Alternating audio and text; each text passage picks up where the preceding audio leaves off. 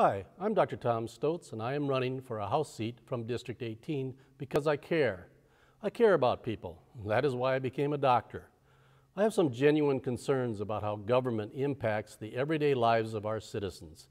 It seems that common sense has been thrown by the wayside and it becomes a win at all costs battle between the parties at the national level. I think we can do better than that here in South Dakota.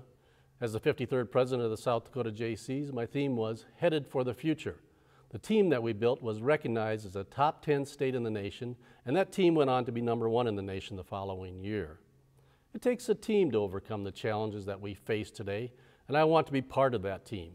The, the team that formulates the strategy to make South Dakota an even better place to live, work, and enjoy our exceptional natural resources. The experiences that I gained serving the people of South Dakota for nine years on the Regulatory Board of Chiropractic Examiners, protecting the consumers of this state, and subsequently for six years as the chairman and primary liaison between the profession and the insurance industry, give me the tools to deal with the issues that challenge us with the Affordable Care Act.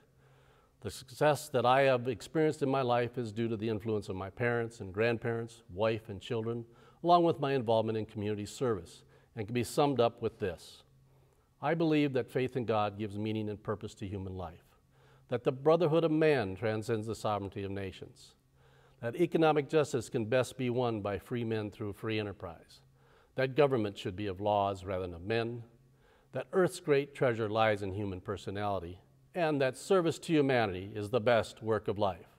I look forward to serving the people in Yankton County with a clear, confident, strong voice in Pierre.